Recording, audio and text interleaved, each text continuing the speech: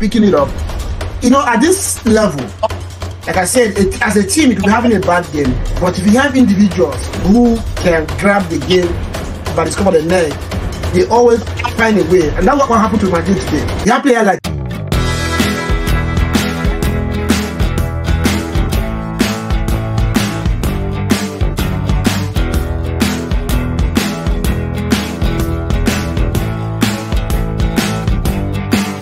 Yeah, yeah, yeah. I get what Choma is saying there, but there's there's something I've, I've mentioned a few times. I think nobody is picking it up. You know, at this level, like I said, it, as a team, you could be having a bad game, but if you have individuals who can grab the game by the scruff of the neck, they always find a way, and that's what, what happened to Madrid today. You have players like uh, Junior and uh, uh, uh, Rodrygo. They rescued uh, Madrid today. Madrid was a little bit awful as a team. So, do, do, do, are you guys worried about that? Arsenal is a team that that wins as a team. Do you think lack of some key, you know, like today, Jesus showed that. He showed that, but he's not consistent with it as, as we know. Jesus made sure Arsenal came back into this game. By the way he walked when he came in, and that goal, he almost made that goal by himself. The typical yeah. Jesus that we know, or the way Arsenal usually plays, he wouldn't do that thing that he did. They would have passed, passed, and tried to create the chance. Then somebody takes a shot. You know. So are you guys worried that at this level, Arsenal could lose out because they don't have you know, if Sorry. like, I, Bayern, I don't I don't think so. Bayern today, I don't Harry Kane, you said did nothing, but he did a lot to put put off Gabriel and Saliba. Yes, Sunday. He, he did not do anything. I'm sorry. But but he was he was causing small small issues for that defense. You know. No. I'm, I'm, I'm, uh, to be honest, to be honest, go ahead, Choma. Harry, but he did nothing. That was not even a Harry Kane, hurricane, plastic football moment. they had to show him some mercy by allowing him play the just his little crown on his head. Yeah. This was nowhere seeing in Tottenham. Yeah, wonderful player. Whatever he does when first touches are pristine, but he had nothing to show today. And uh, of yeah. course, I told Harry, Harry, from all those pity moments with the free kick and the PK, he was, but yeah, fine. He was trying the defenders, but they bottled him as usual. So I didn't. Mm-hmm. Yeah, but listen. So another very key element in this game today, as we have seen a lot of times, I don't think that referee was uh, was was at it. Yeah, there were so many calls that I'm not talking about the penalty now, but there are some because I, have I've done some things with football at grassroots level. That's what you see. Referees can stylishly, you know, put you off with some kinds of calls here and there. Are you, are you guys okay with the officiating? I didn't. I didn't. I didn't. I didn't have a much of a problem. Yeah, with I, I honestly thought this this referee was very um, fair per se. The mm-hmm. only mistake I think he made, which was probably the biggest mistake was not going to VAR for the penalty. I mean, if you're thinking about what a penalty is nowadays, Saka was 100% looking for that contact. Okay, mm-hmm. we don't we don't have to dispute that. But I I was I was having a discussion and I was thinking about Anthony Gordon at West Ham when he put his foot he wrapped his foot literally around Calvin Phillips's uh, trajectory of shooting mm-hmm. just to get that contact. If we're comparing the two, those are the exact same thing. So for the referee to not even consult VAR, I think that was uh, that was the only bad decision he made, and it was the worst decision he could have made. Because if we're like I said, if we're looking back on on that, setting that precedent with refereeing nowadays, everything is even with penalties, everything is so 50-50. Yeah. And one game somebody could give a penalty for something that another referee it's subjective. So exactly, but I, I also do think Saka should have tried to take his chance and not uh, exactly. had to rely exactly. on the penalty. Yeah, if I were yeah. him, because there was nobody behind the what's his name, Noah, just get that ball past him. The rest will be history. Just uh, you know, Yeah. chance. Yeah, he had he had an open. Once he changed the direction of that ball, he had an open goal. So Right? Yeah. He changed the direction of I- that ball, he had an open goal. I, I, I disagree. Watch the foul. He was fouled on the foot that he was supposed to plant on the floor to be able to score the goal. Okay, he, he moves the ball with his left leg. The right leg is supposed to come down. You plant it and then you score. How was he going to score that goal when he was tripped on the leg that was supposed to stand and score? He was looking for it. Go watch he was it. looking for it. That's the thing. That- that's the thing. So, so, uh, I don't understand this theory of looking for it, for goodness sakes, right? He has moved the ball. What do you mean by looking for it? no, Yeah, so it's easier for him to. what I what I what I what I say right is again I, I wish he- they gave the penalty, but Yeah. I'm talking about real time, right? What I Mm. saw, I was so disappointed when I saw it when when he didn't blow it. But then again, in my head, I'm like, Saka Saka hundred percent was looking. Was he went, but he was looking for that contact. The ref anticipated it, and he started thinking in his head that was not enough. And again, again, Yeah. I just feel like I don't want to. I don't want to. I don't want to be that fan So- that, that one that one, I want to make a, a whole issue around it. Yeah. But honestly, I think Saka just stayed on his feet and done something. 100%. so I think again, I- I again, think I, I- don't. I think he How had is he going to stay on the feet to on the still foot that was I- I- Uh, can can But- you guys I let don't know, if you- Nimi wants to Uh, say uh, something. Nimi, Nimi, Nimi, I would, I would rather even take Choma's view as neutral than yours. You are never neutral on anything. I'm a neutral. I'm a neutral fan. Uh, we- we You are never fan. neutral on anything. I would rather take Choma's view. But, but go ahead. But um, you know, one thing I would say is I'm a little bit disappointed that we have uh, a referee in the house in Ugu. And if this is how Ugu officiates his games, I would have to tell the Houston refereeing board to maybe look into his license because yeah. There's a difference between a referee that has played the game and one that hasn't. I played the game and I know that you're supposed to plant your foot on the floor to be able to Ugu score a goal. it was it was clear that he was anticipating and he was looking for that. Because as a goalkeeper, Nia did the natural thing to do, make yourself big. And no, big, no, no, yeah. no, no, no, no, He planted, That's what his, he planted his leg. For me, for me, So- when I so- think so- Saka made a, uh, made a Saka. Saka was clearly looking for that contact. And Neuer's experience. If Neuer had moved his body one on, on the right hand side or left hand side, yes, that would have gone. Neuer made himself big, as a goalkeeper should do in that one on one situation. Saka anticipated movement and he put his leg in there. It was it was an anticipation. So I don't see how you will how you will in all good conscience.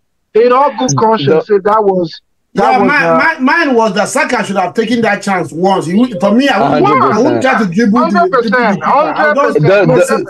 the- The way I see it I, I, it, it I agree with that. I agree with that one. But he has tried to dribble the goalkeeper. yeah. Now, now, now my own premise is that he has already moved the ball to dribble the goalkeeper, Mhm. and then the, the corresponding action after that will be to plant his right foot and score with his left. He used the left for the dribble. Please go and watch it again with this mindset. Yeah, but I agree. Yes, that he shouldn't have probably tried to dribble. He should have taken that shot one time. Yes, yes, I agree with that.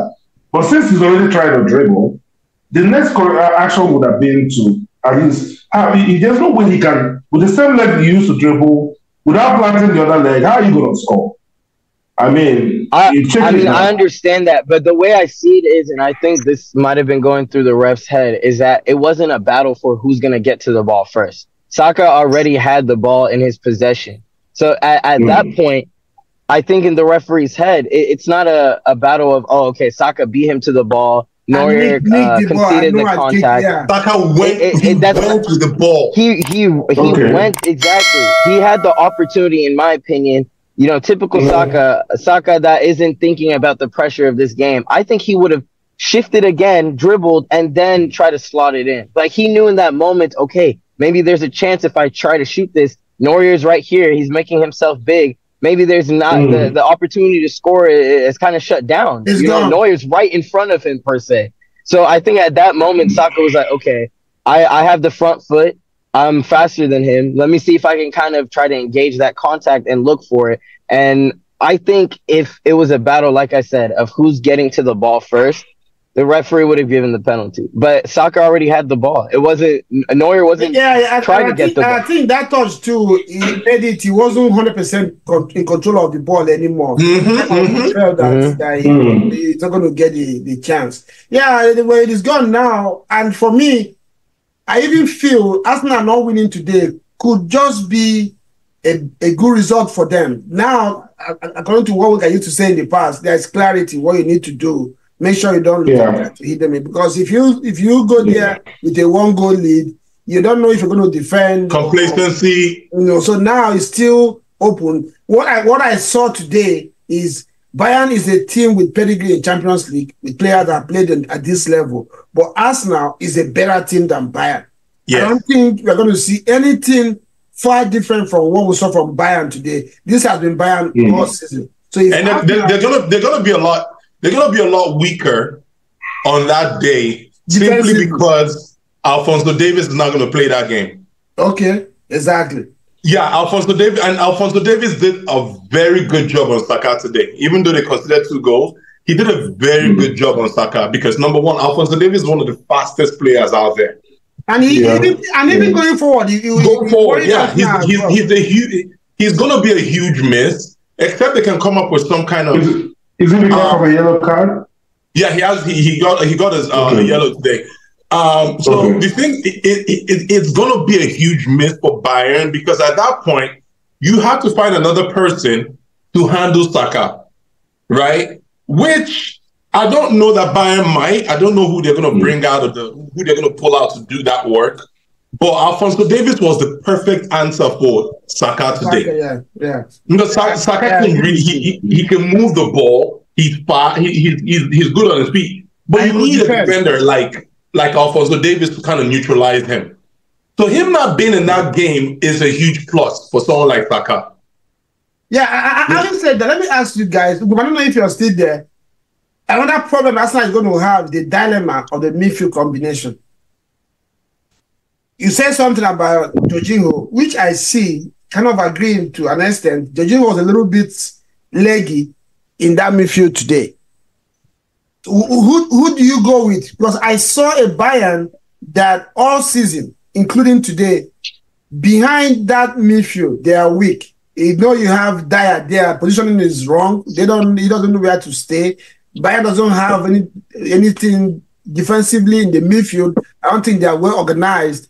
So how do you go? Do you go and Rice uh, Kai Havertz, Odegaard, be ambitious, try to win the game, or Partey today? What I saw, I don't know if what he's going to do before that game, or do you go with a Partey, can Rice assurance, and Odegaard in front of them, then unleash the the three front players? Ugum, what would be your thought? First of all, Um. I want to really, really, really quickly. I just want to go back on the point about uh, Davies. I think he actually didn't do a good job against Saka. He had a lot of help from Gnabry um, tracking back um, because he he was definitely left in the dust. I mean, there's a reason why he got a yellow card, and um, he's way more offensive minded than he is defensive minded. So he kind of has that same um, downfall as Zinchenko. Maybe not um, drifting into midfield, but he tends to really play up the wing. And we saw we saw Bayern get exposed. But um, going back to the, the question you just asked, I think we should still start the game with Kai Havertz. I think um, just looking at the impact Jesus and Trossard had off the bench, I think that just adds, like uh, Omezi was saying, a level of chaos. You know, uh, Jesus just kind of being, like I said, he, he learned his trade in the favelas. So he, he's going to twinkle toe his way throughout the box. Um, he may not finish, but if he can produce that final pass um, to, to anyone besides himself, I think they're able to get it in. And Trossard, I mean, this dude, he, he almost, like we said last week, it, he's like, oh, keep testing me, Arteta. Keep testing me. But I, I Hmm. it, it's weird because he really is a clutch player. Like you said, he, he doesn't have the same type of performance as he does when he starts the game. I mean, more than half of his goals have come off the bench. That's insane. No, the, That's the stat says that he is he, ha, he has scored the highest goal in all across all five big leagues in Europe, coming in as a sub. Mm. Exactly. Yes, He's a super right. sub. He's a super sub. Yeah. But I think we should start. Um, I, I I don't know, man. I, I want to give Jorginho a chance because at the same time, you know, Partey, he's not really too fit now. And should we risk it with putting Partey on and then him being out I'll for go the with rest of the Jorginho too. Yeah, I, I think I, I genuinely think where we fell flat today was the left back position. If we can figure that out, and then also now we're coming into this game taking Bayern extremely serious. We're not going to be flat footed like we were today. We're not going to have those lapses of concentration. We beat ourselves. Bayern didn't beat us, in my opinion. We beat ourselves because So, we, so we were who- too what would be a, what would be a combo considering left back, the who will play with Declan Rice and Jesus, Kai Havertz up front or Martinelli? How are you going to do it to to have that defensive solidity and at the same time have enough questions for Bay, uh, for Bayern going forward? I I'll think. start the same team. uh, Yeah. I, was- was going to say the same thing. The Mhm. same team. The same team. Only difference I'll make is I'll bring in Jesus for Martinelli to start. I thought his I was incredible with the way he um he set up that goal. Um, I, I think that having watched him the other day play with with Havertz, the chemistry is still there. Jesus is a player that can play with almost every other person. Um, Martinelli can make quite an impact as a sub uh, coming in anytime during the game because we know what he brings. He brings a lot of heat. Um, so uh, that's the only thing. I, the only change I'll make is to bring in Jesus. I like Jorginho in midfield with Chris, Rice. what will be your option? Uh, you, you mean me? No, amazing. Um, I agree. I agree. I think we talked about we talked about um, Jesus um, the, uh, on the on the last episode. How we said um, he defends from the front, um, and he he's not afraid to track back. Right, Jesus is not afraid to track back and everything, and he does that very efficiently. Especially if we were to go with a player like Zinchenko or have Jesus in front of him, for two reasons. Jesus' work rate um, on that side, even though he's not a, an 11, is very, very, he, he takes care of the ball better. Mhm. Jesus takes care of the ball better. I don't think Martinelli can do that. So definitely I'm drafting in Jesus in that position. Now, for the left back, right back, uh, left back opposition, I still, uh, that's a hard one. Tomiyasu for me, if you're not bringing in Tomiyasu, then hmm, if you're not bringing in Tomiyasu, then just keep it the same. I don't. I, I don't think Zinchenko should play that game. But again, I would say uh, definitely Jesus, Jesus and Kiwior. Okay, let me let me just say I will you you will come in for Bayern. For me, if you give me that option, the way what I think Arsenal need to do in terms of lineup to win this game is play Tomiyasu as a left back, Tomiyasu, Gabriel, Saliba, and Ben White. It gives you that assurance. I don't think Bayern Munich will do will have anything that these four guys cannot take care of. This now gives you the luxury of playing playing Jorginho in the midfield with the Rice, and now tell Odegaard to try and stay a little bit off forward because Odegaard was deep, was was too deep in the beginning in the deep. half in this game. It wasn't until Zico came in that he, he moved forward. Then I'll play Gabriel Jesus, Kai Havertz, and uh, Bukayo Saka up front. Now what this does is, and this is what Arteta has done with this team, and I saw it today. Arsenal sets up trusting every player to win their duels. Arsenal trust the players to go one on one with players against opponents, and most of the time they win their duels. Today, I saw a Bayern Munich that Arsenal could go toe to toe with. The only thing is that you also have to have players who complement others. So if you if you do that, I trust Saka, Jesus, and Kai Havertz to worry that Bayern defense. Mm-hmm. Trust them. So all you need to do is When I go when ahead. I saw Odegaard as the last man to stop Sane, that at that moment I was like, what is going on with Arsenal? I mean, he he he stopped Bayern from taking that game. I truly believe that. It would have been Yes. 3 1. And, and and and that is because of the what I said about Declan Rice. Declan Rice, this was this is not one of his best games. Declan Rice was all over the Mm. place. Today, Yeah. he didn't provide protection for that defense, and that's why we had that chaos. Odegaard was coming too deep, and he still has to press up forward and still create. In fact, I don't even know why we're talking about Odegaard. Odegaard, for me, is just Mr. Arsenal right now.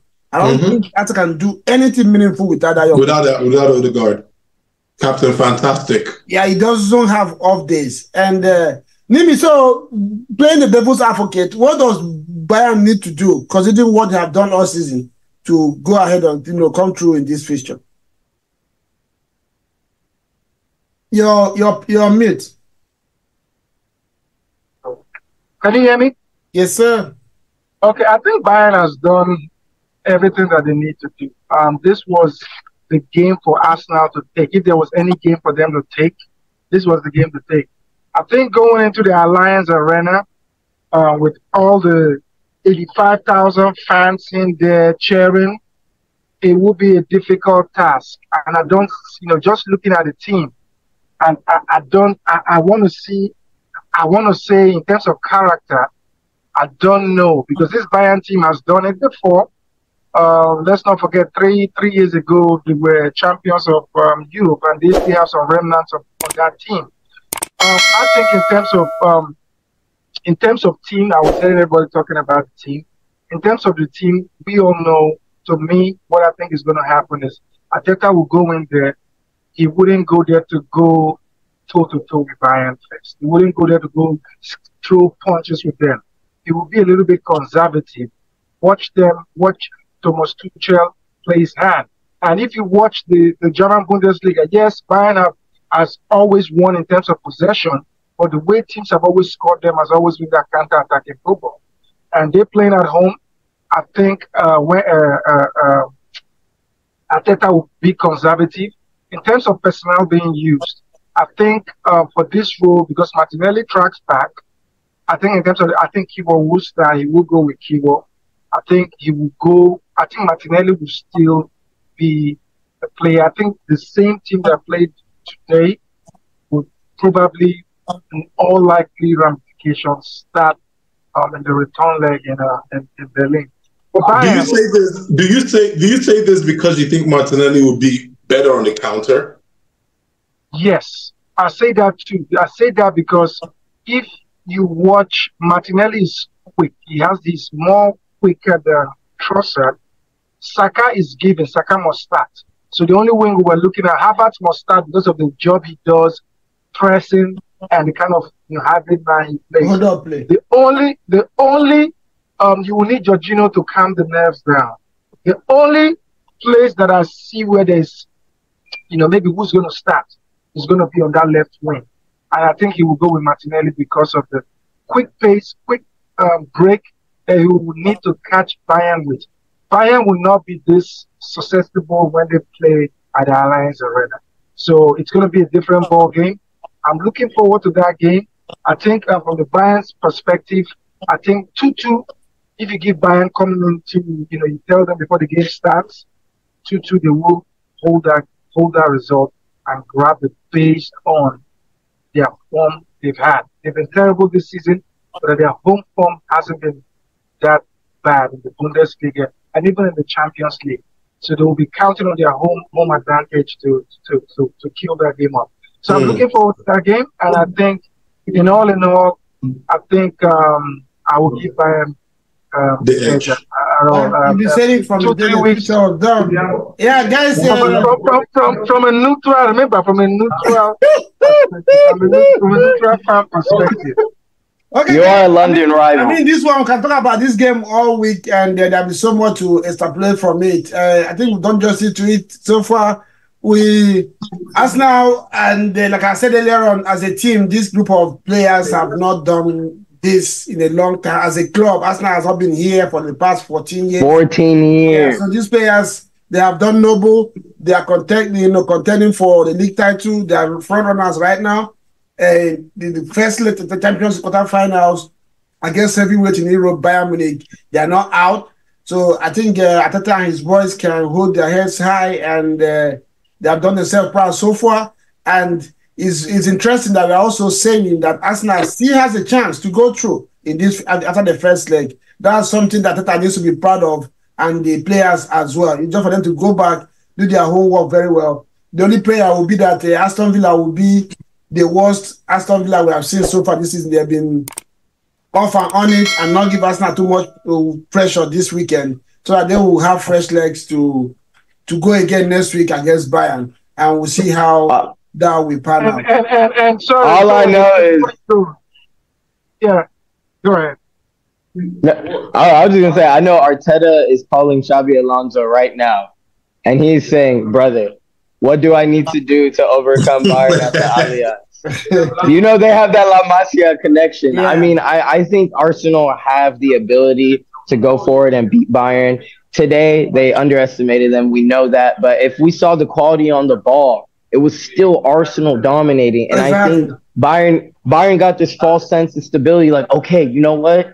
We're able to to take the pressure. But I mean, we we just capitulated. I I'm saying it. It's not because of Bayern that we didn't win. It was because of ourselves. Oh, I mean, how, can, how can you I, play? How can you play against uh, Eric Dier? Eric Dier.